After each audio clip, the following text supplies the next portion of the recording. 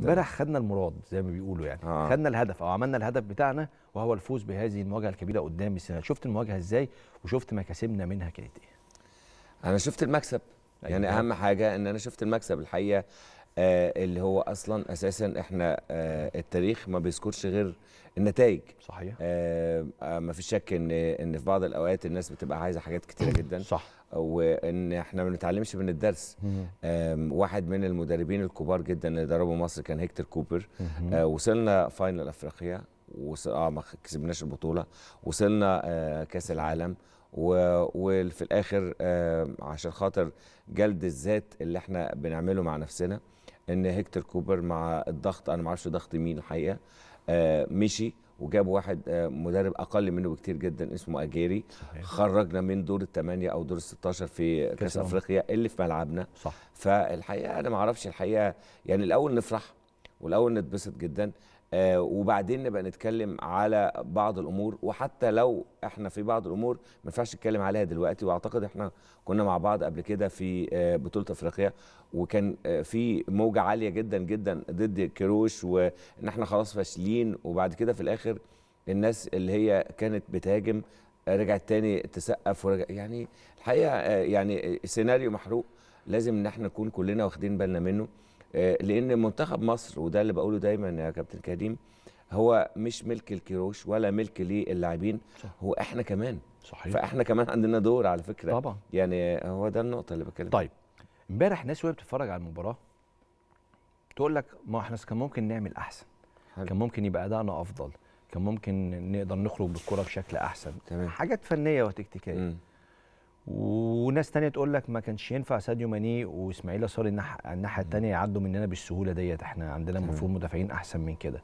وأنت بتتفرج على المباراة كان عندك تحفظات كان عندك سلبيات ولا شايف إنه كان بيحصل منطقي في الملعب؟ طيب إحنا لعبنا وخرجنا واتحكمنا واستحوذنا وعملنا كل حاجة وكسبنا 1-0 مهم.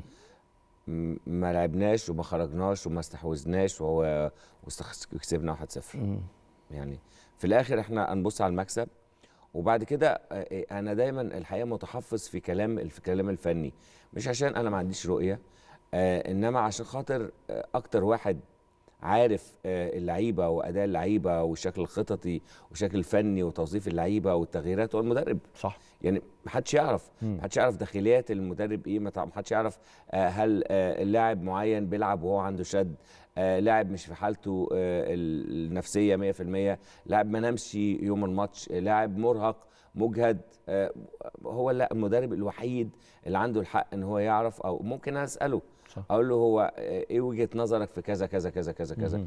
فيتكلم في وجهة نظره آه، انت آه، هل ممكن نقدر نعرف مع كل تحفظ مع كل ادب هل ممكن نقدر نعرف انت ليه لعبت بطريقة آه، آه، مثلا 4 3 3 وبعد كده قلبتها ل 4 5 1 مم. بعد كده قلبتها ل 4 4 2 في في المباراة هو يقول يتكلم على فكره أو يتكلم على رأيه أو وجهة نظره. مم. إنما إن أنا أتكلم عن وجهة نظره وأنا قاعد يا إما قاعد في المدرج أو قاعد قدام التلفزيون وأقعد الف وألحن وأتكلم وأقول وأعمل فالكلام ده مش مظبوط. أو. أقول انه انه الصح كنت المفروض تعمل كذا. وكان المفروض تعمل كذا. طب أنت آه. أنت عرفت منين إن هو كان المفروض يعمل كذا؟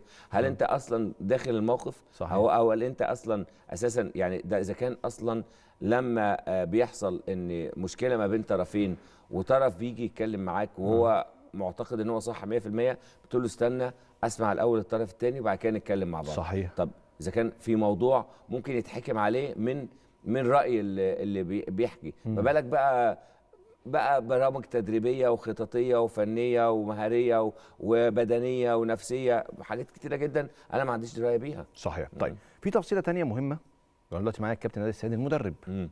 في تفصيلة تانية مهمة إنه أنت أحيانا بتحط طريقتك وأسلوبك وشغلك الفني على ضوء الخصم اللي قدامك طبعا الخصم طبعاً. اللي قدامك ده بتبقى انت عارف انه ممكن تبقى قدراته اكبر منك مفيش مانع. والله بص يا يعني- كابتن كريم أنا الحقيقة ما ما يعني مش مش ما أنا متحفظ قوي على بعض الناس اللي بيتكلموا على منتخب السنغال إن هو منتخب خارق. ما ما جاش ما جاش ما جاش زيه.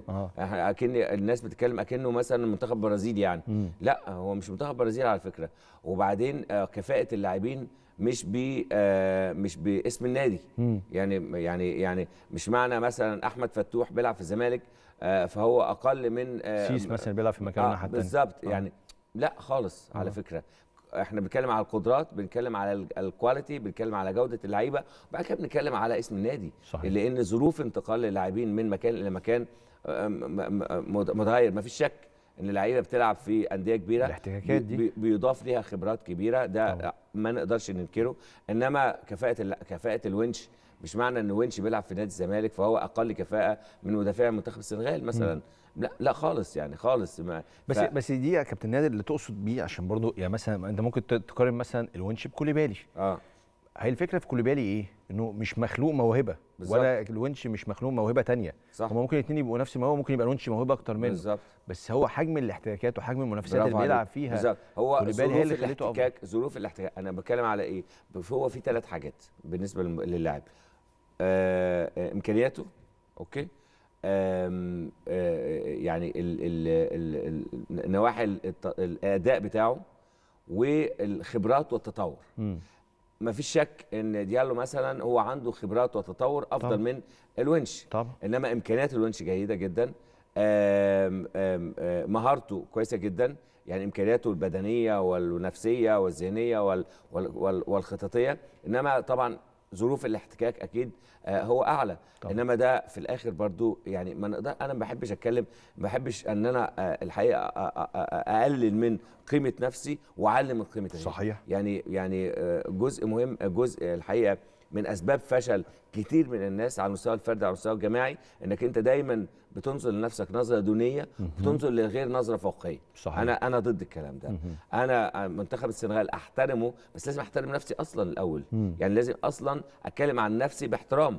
وبعدين أتكلم عن المنتخب السنغالي باحترام. آه. يعني منتخب مصر بتاريخه وقدراته ولاعبيه بغض النظر بيلعبوا فين ليفربول ولا بيلعب في الزمالك ولا بيلعب في بيراميدز ولا بيلعب في الأهلي ولا بيلعب هو أتكلم عن منتخب مصر ككيان لازم يحترم. صح. يعني منتخب مصر أكبر أو أكتر أو منتخب كسب بطولات إفريقية اتأهل لكأس العالم 2018 آآ آآ خلاص قاب قوسين أو أدنى إن هو يتأهل إلى كأس العالم ال ال آه، 22 فلازم أتكلم عن نفسي وأتكلم عن قدراتي وبعد كده أتكلم عن الفريق الثاني بمنتهى الاحترام. منتخب السنغال منتخب قوي. أنا كمدرب بحط التكتيك بتاعي طبقا للفريق اللي بيلعب معايا اللي بيلعب ضدي. آه عنده عنده نقط قوة إيه عنده نقط ضعف إيه ممكن أحط التشكيل إزاي هو كيروش بيلعب 4 3 3 مهم. بيلعب مع منتخب ليبيا مع منتخب أوغندا منتخب البرازيل منتخب الأرجنتين منتخب السنغال هيلعب ب 4 3 3 صح. في في في, في وبعد كده ممكن في بعض الأوقات يلعبها 4 5 1 ممكن في بعض الأوقات 4 4 1 1 بس هو بيلعب 4 3 3 في النواحي الدفاعية ممكن يلعب يلعب يلعب بأربعة آه بيلعب بأربعة ستة آه، مثلا يعني. بيحط سته في نص الملعب مع الانطلاقات بتاعت صلاح يعني. ف- فهو بيغير ال ال الشكل في حالة الدفاع إنما بيلعب 4 3 3 في حالة الهجوم. في في لقطة امبارح ظهر فيها وهو بيشاور ست. أيوه يعني بالظبط. أعتقد اللي حضرتك بتقوله ده بالظبط. إنه لا- في نص الملعب ستة في نص يعني الملعب. بيلعب أربعة بيلعب ستة في نص الملعب صحيح. فبيلعب ستة خمسة واحد يعني آه. بيلعب أربعة خمسة واحد اللي هو صلاح في الأول. صحيح. ففي بعض الأوقات إنك أنت بتملى منطقة نص الملعب ممكن أه نتكلم إن كان المفروض إن بعد ما نلعب آه، أربعة خمسة واحد أو أربعة ستة إن إن بعد كده يكون في انطلاقات هجومية آه يكون في آه، آه، ارتداد ارتداد هجومي بشكل كويس. أه نتكلم في الكلام ده. إنما نتكلم في تكتيك ونتكلم في إيه الأمور هو أطول بس